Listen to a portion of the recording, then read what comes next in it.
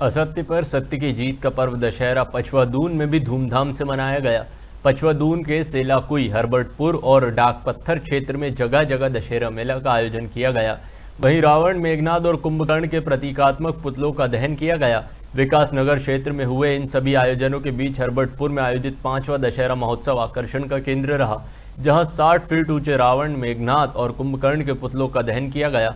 खास बात यह रही कि इस आयोजन में इन पुतलों के अलावा दिल्ली के आय गौरव काली आर्ट ग्रुप ने राम विवाह, सबरी मिलन, महिषासुर वध और रावण वध की मनमोहक प्रस्तुतियाँ दी।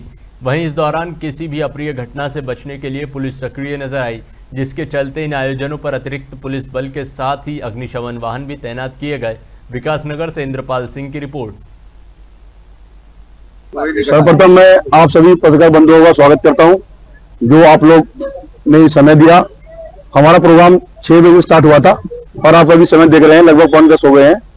प्रोग्राम को भव्य बनाने के लिए जो सबसे पहले मैं यहाँ की जनता जनता ही किसी प्रोग्राम को भव्य बनाती है और आप देख रहे होंगे कि मेरे ख्याल से इस प्रोग्राम में सबसे ज़्यादा जनता इस बार पहुँची, लगभग दस हज़ार ज़्यादा आदमी इस प्रोग्राम में रहा है।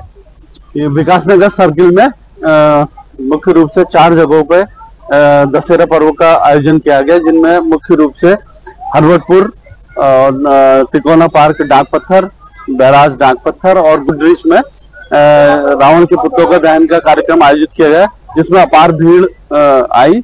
लेकिन सभी जगह हमारा ये पर्व सकुशलता से संपन्न हो गया है।